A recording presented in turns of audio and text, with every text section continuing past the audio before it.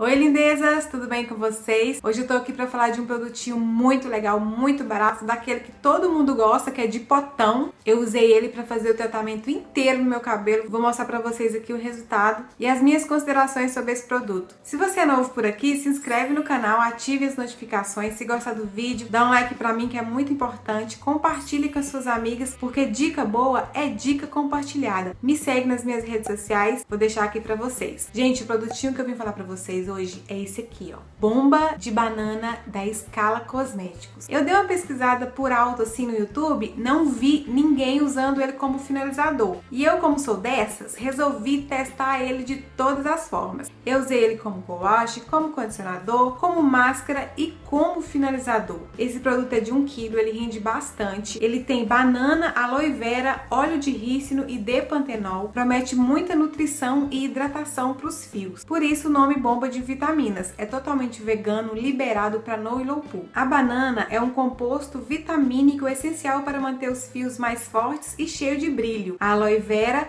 é nutrição e hidratação. O óleo de rícino fortalece e auxilia no combate à queda por quebra dos fios. E o depantenol traz força e hidratação. A linha Bomba possui uma fórmula com ingredientes ricos em nutrientes poderosos que auxiliam no crescimento dos fios com um toque especial, a banana, e promete cabelos mais fortes e cheio de brilho. Eu já trouxe algumas máscaras da Scala aqui para vocês e o resultado é sempre muito positivo. Essa máscara de banana em especial, eu achei ela um pouco mais concentrada e o resultado dela é diferente das outras que eu utilizei. Ela é indicada para todo tipo de cabelo. E aqui atrás, no rótulo, fala para ser usada como co-wash, como condicionador e como máscara. Não fala para usar na finalização dos cachos. Como falei para vocês, eu usei e vou contar aqui para vocês o que, que eu achei. Olha só, é bem amarelinha, tem um cheiro leve de banana, muito gostoso mesmo. E essas máscaras da Scala, ela não é daquele tratamento power. Ela é um tratamento mais leve. Mesmo assim, eu achei que ela trata bastante o cabelo. A indicação é você deixar agir no cabelo por 3 minutos. Então você consegue fazer a hidratação rápida do seu cabelo. Mas se você quiser um resultado mais potente, você deixa agir por 15 minutos com a touca térmica ou com a nossa tão usada sacolinha de mercado, né? O que eu achei desse produto no meu cabelo? Como co-wash, eu achei que ela promove uma limpeza bem legal nos fios e achei ela bem emoliente. Com isso, ela já vai desembaraçando o cabelo, tornando a limpeza mais agradável, mais suave. Eu deixei agir por 15 minutos no meu cabelo e confesso que eu achei que ela desmaia o cabelo mesmo. Eu achei que ela nutriu bastante os fios eu não usei muito produto, ela rende pra caramba, por ser um produto mais barato, super vale a pena, porque com certeza vai render muito esse produto. E eu arrisquei, gente, na finalização com ela. E usei pouquíssimo produto. Eu não gravei porque vocês estão cansados de ver como que eu lavo, como que eu finalizo, como que eu faço tudo aqui. Eu usei pouquíssimo produto, bem menos do que um creme de pentear. Como ela hidrata e nutre bastante, eu fiquei com medo de perder volume, entendeu? Por isso que eu usei pouquinho produto. Mesmo assim, rende muito. Eu usei a fitagem normal no meu cabelo. E o resultado foi muito bacana. Vou deixar pra vocês aqui o vídeo no dia que secou, porque eu tô no meu primeiro day after. Meu cabelo tá assim, ó.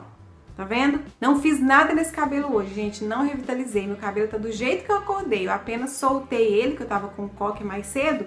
E tá assim, não fiz nada. Promoveu brilho, cabelo leve, hidratado. Meu cabelo não tá opaco de jeito nenhum. Só que no dia, sabe quando você usa muito produto e você sente que tem produto no seu cabelo? Só isso que eu senti. Pra ser sincera, todas as máscaras da Scala, mesmo aquelas indicadas para creme de pentear, eu sinto a mesma coisa. Então eu achei que não teve diferença nenhuma das outras que a gente usa como finalizador, que é o Divino Potão, a maionese capilar. Achei a mesma coisa, assim, no sentido de pesar o cabelo ou não. Você pode usar ela como finalizador como eu usei, ó. Fica bem definido, bem hidratado, bem leve, não pesou no cabelo de jeito nenhum. E eu gostei bastante e vou continuar usando da mesma forma, como shampoo, como condicionador, como finalizador, como máscara. Como não amar uma máscara boa, barata, que você consegue fazer tratamento completo no seu cabelo, sem contar que você pode potencializar ela e fazer hidratações caseiras. Então era isso, eu espero que vocês tenham gostado. Não esquece de deixar um like pra mim se você gostou do vídeo, de compartilhar que é muito importante pro crescimento do canal. Me segue nas minhas redes sociais. Até o próximo vídeo. Beijos. Tchau.